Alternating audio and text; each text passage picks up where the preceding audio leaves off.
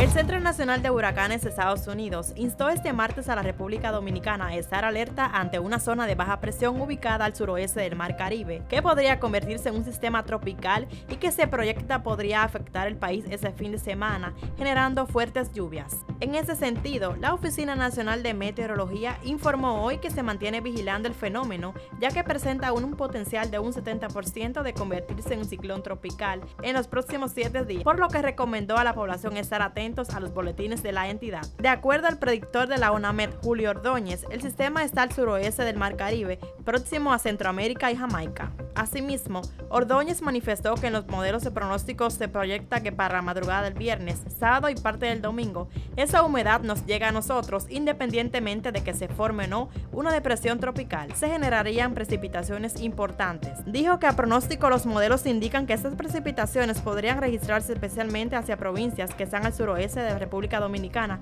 como Pedernales, Barahona, Independencia y San Juan, y que a medida que el fenómeno se mueva podría incidir en otras provincias. Detalló que actualmente se trata de una zona de baja presión que aún no está incidiendo, pero se prevé que para lo que es el viernes, sábado, el fin de semana, esta actividad esté afectando Jamaica, Haití, República Dominicana y Cuba. Para el quinto elemento TV, Claudia Ortiz.